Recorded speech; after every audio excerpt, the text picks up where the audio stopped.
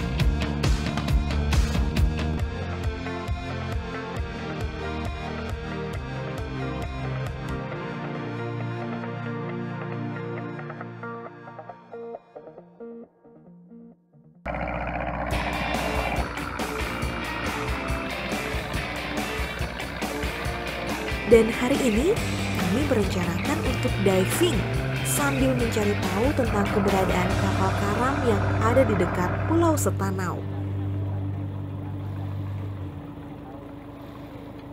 Sekarang kita sudah berada di sekitar Pulau Tiga dan lebih tepatnya di dekat Pulau Sedanau. Sausan akan menikmati keindahan di atas laut. Aku pun juga akan menikmati keindahan di bawah laut dengan menyelami kapal karam yang salah satunya adalah kamar milik Soekarno.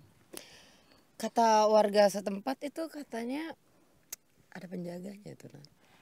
Ya, penjaganya itu adalah alam. That's right. That's true. Wish me luck. Good luck. Enjoy. Siap-siap dulu ya. Alright. Diving selalu menjadi agenda pasti dalam setiap perjalanan saya. Dan keselamatan saat diving menjadi yang terutama bagi saya. Itu sebabnya saya selalu memperhatikan betul setiap detail dari perlengkapan diving saya. Penyelaman kali ini, saya akan menelusuri sebuah kapal yang karam.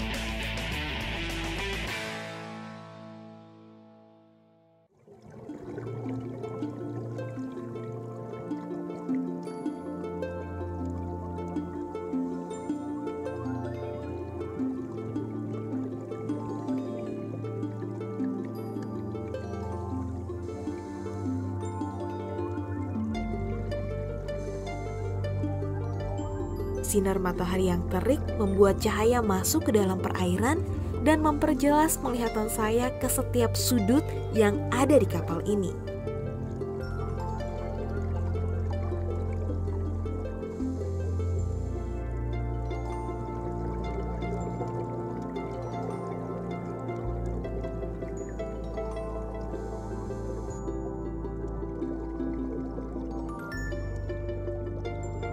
Tidak banyak warga yang pernah menyelam dan mencari tahu tentang kapal ini.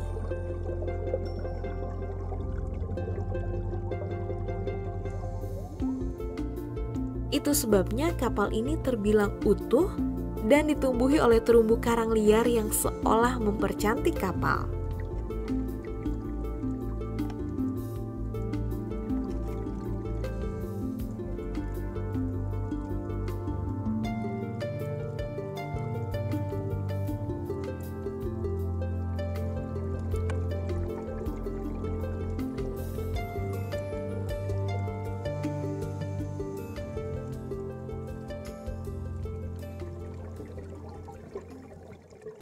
Bang, aku mau nanya-nanya dikit nih. Sebenarnya kapal itu kapal apa sih? Itu kapal penumpang KM Jadayat namanya. Namanya KM Jadayat ya? Oke. Em, sejarahnya gimana tuh? Dia dulu dipakai oleh perhubungan laut untuk jadi kapal perintis. Dulunya Aha.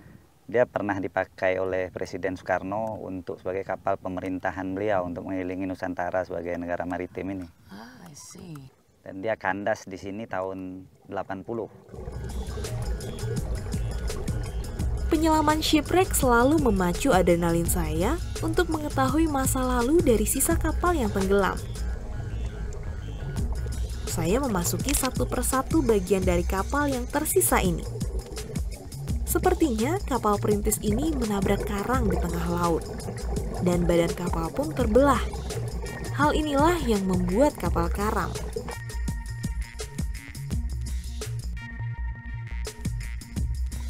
Dengar-dengar nih katanya kapal itu ada penunggunya. gitu. Ya, Sebenarnya aman nggak sih kalau semuanya diving di sekitar sini?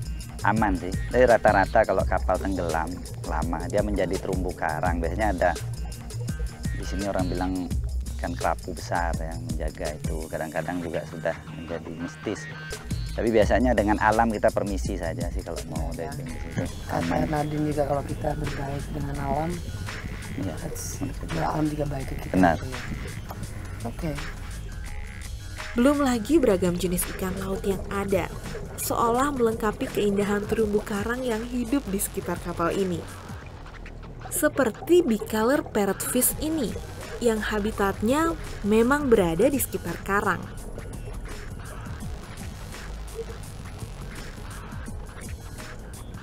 Saya memutuskan untuk menyusuri bangkai kapal ini saja.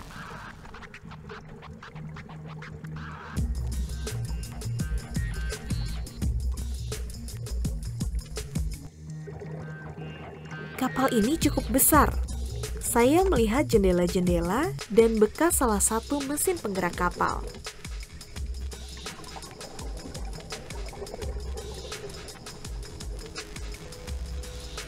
Benar saja, tidak lama saya bertemu dengan segerombolan ikan barakuda yang seolah menjadi penjaga salah satu harta karun bawah laut Natuna.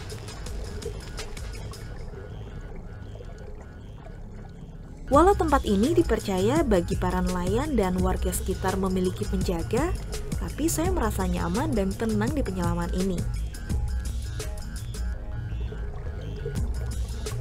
Karena saya yakin bahwa alamlah yang menjadi penjaga tempat ini.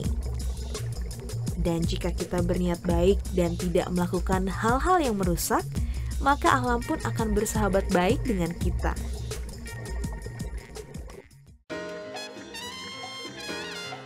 Setelah mendapatkan informasi dari Bang Iyal dan sambil menunggu saya diving, Sausan memutuskan untuk menikmati hari di atas kapal dengan cara sendiri. Menikmati alunan musik jazz sambil melakukan kegiatan favoritnya, yaitu menulis lagu. Eh, gimana tadi? Aduh, kapalnya sih besar banget. Tinggal kerangkanya, jendela-jendela, bingkainya itu masih ada. Ikannya tidak terlalu banyak, tapi ada barakuda sekitar 20 ekor. Terus muter, aku nggak dapet fotonya. Tapi terlihat ini memang kandas nabrak karang. Tapi enak lah, sekitar 3 meter sampai 5 meter. Ya. Jadi tidak terlalu dalam. You look fresh. Yeah. Diving. Yeah. Ayo, diving, diving. One day. ya, naik dulu. Bukan hanya keindahan alamnya saja, Natuna juga menyimpan peninggalan harta karun yang berharga.